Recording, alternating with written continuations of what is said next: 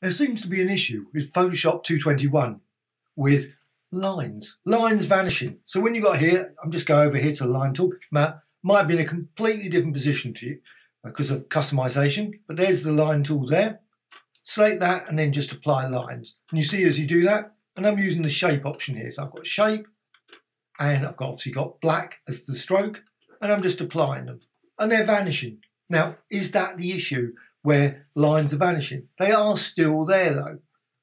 Very odd, but go to layers and you can find that window and layers. And obviously properties is very useful as well, but layers, you can see all the lines are there. The reason being because of this. Simply increase width. You can of course modify it in other ways as well. And what you can do, you can go to properties. So properties there, and you can modify here as well.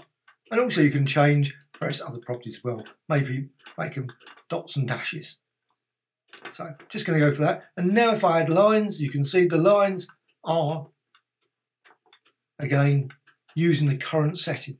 Now, if I go over here to layers, and I delete them all. So I'm just going to remove, yes, delete all, oh, a few more as well.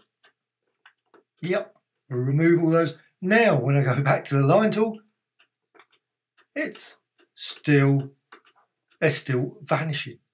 It's rather annoying, and I think this is one of the problems. It doesn't keep a fair, if it defaulted to maybe one or two or something like that, 12, 12 pixels, then people would see it.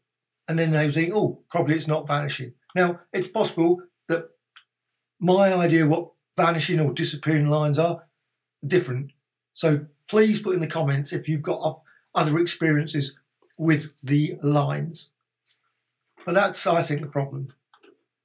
Now, make it obviously easier if they brought back the pixel option. I would love to see that, and I do not understand why it's not there. Makes no sense because, of course, all you'd have to do is go to Layer, and you can flatten image. You've got your pixel layers again, which is exactly what you want, what I would want as well. I just do not understand why it's removed. But there it is, you've got your stroke, and again, it's back to zero. So it's not very useful. As a default, it should at least default to something that you can see. Just defaulting to zero all the time is not much use for a line. In fact, it's completely pointless, I think.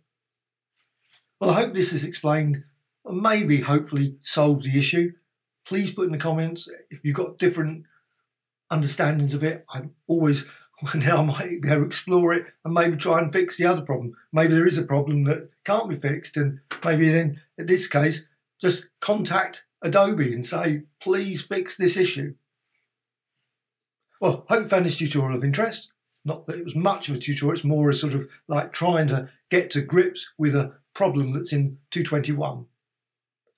So I do tutorials about Photoshop, Illustrator, Krita, Affinity products, all those sort of things. Adding tutorials all the time, so please subscribe to the Graphicxtras channel. Also, please add some comments, like I say. Please let me know, is this the issue? Also, a dislike or like. Thank you much.